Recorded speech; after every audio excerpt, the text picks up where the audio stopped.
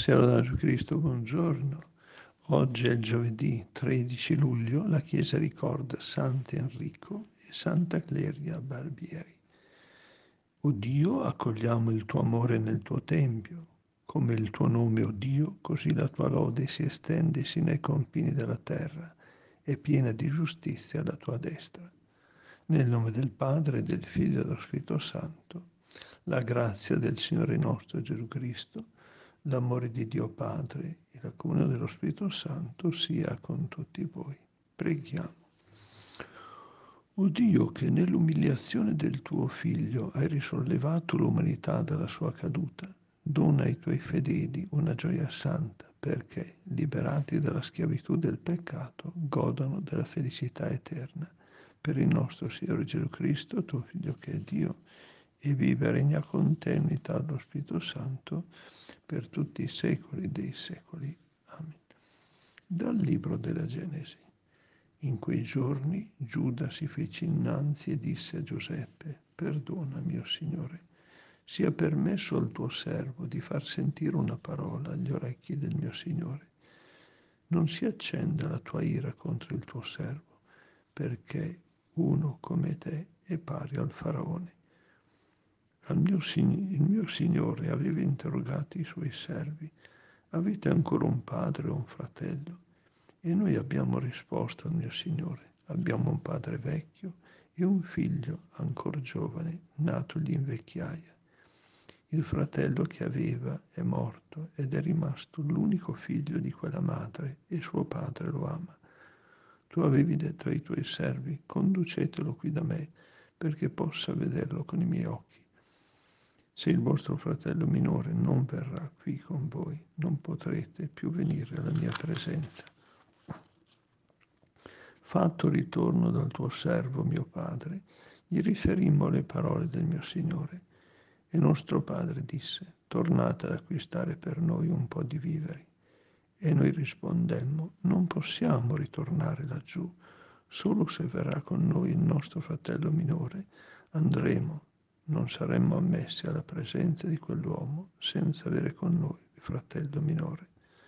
Allora il tuo servo, mio padre, ci disse, voi sapete che due figli, che due figli mi, mi aveva procurato mia moglie. Uno partì da me e dissi, certo è stato spranato. Da allora non l'ho più visto. Se ora mi porterete via anche questo e gli capitasse una disgrazia, voi fareste scendere con dolore la mia canizia negli inferi. Allora Giuseppe non poté più trattenersi dinanzi a tutti i circostanti e gridò, fate uscire tutti dalla mia presenza. Così non restò nessuno altro presso di lui, mentre Giuseppe si faceva conoscere dai suoi fratelli e proruppe in un grido di pianto. Gli egiziani lo sentirono e la cosa fu risaputa nella casa del faraone Giuseppe disse ai fratelli, io sono Giuseppe, è ancora vivo mio padre. Ma i suoi fratelli non potevano rispondergli perché sconvolti dalla sua presenza. Allora Giuseppe disse ai fratelli, avvicinatevi a me. Si avvicinarono e disse loro, io sono Giuseppe, il vostro fratello, quello che voi avete venduto sulla via verso l'Egitto. Ma ora non vi rattristate e non vi crucciate per avermi venduto qua giù, perché Dio mi ha mandato qui prima di voi per conservarvi in vita. Parola di Dio. Ricordiamo, Signore, le tue meraviglie. Chiamò la carestia su quella terra, togliendo il sostegno del pane. Davanti a loro mandò un uomo, Giuseppe, venduto come schiavo. Gli strinsero i piedi in conceppi, il ferro gli serrò la gola finché non si avverò la sua parola e l'oracolo del Signore ne provò l'innocenza. Il re mandò a scioglierlo, il capo dei popoli lo fece liberare, lo costituì signore del suo palazzo, capo di tutti i suoi averi. Alleluia, alleluia. Il regno di Dio è vicino, convertitevi e credete nel Vangelo. Dal Vangelo secondo Matteo. In quel tempo disse Gesù ai suoi discepoli, Strada facendo, predicate dicendo che il regno dei cieli è vicino. guarite gli infermi, risuscitate i morti, purificate i leprosi, scacciate i demoni. Gratuitamente avete ricevuto, gratuitamente date. Non procuratevi oro né argento né denaro nelle vostre cinture, né sacca da viaggio, né due tuniche, né sandali, né bastoni, perché chi lavora ha diritto al suo nutrimento. In qualunque città o villaggio entriate, domandate chi là sia degno e rimanete finché non sarete partiti. Entrando nella casa, rivolgetegli il saluto.